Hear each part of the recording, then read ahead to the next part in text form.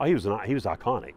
I mean, you know, whether you whether you liked Deliverance or not, and it was shocking. You know, I remember the first time I ever saw it, I was shocked.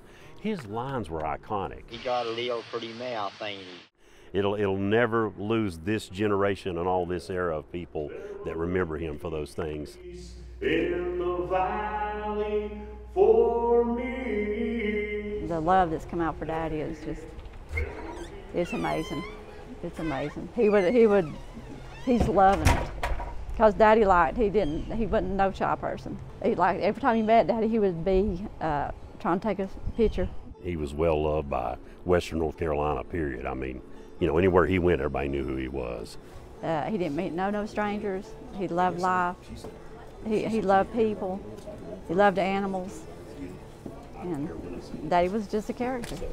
So I'm gonna miss I'm gonna miss Daddy. I, I'm gonna miss him.